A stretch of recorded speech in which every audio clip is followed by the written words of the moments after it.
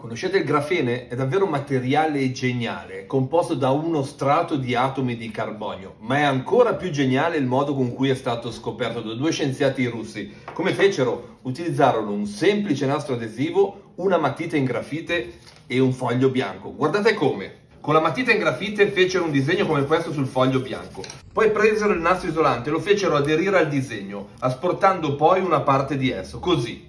E poi continuarono con questo procedimento, sfogliando strato dopo strato e ottenendo pochissimi strati di atomi di carbonio. Davvero geniale. Come vedete, per fare innovazione non servono grandi risorse, ma grande creatività. I due scienziati, per la cronaca, vinsero il premio Nobel per questa invenzione.